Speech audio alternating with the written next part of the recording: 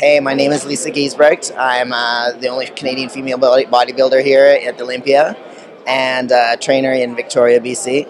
And uh, one tip I have for the, all the ladies out there is make sure that you get enough protein every day. I mean, that sounds pretty simple, but I'm always surprised at how many women come to me and say, you know, oh, I'm getting lots of protein, but they actually, in fact, get maybe 50 grams a day.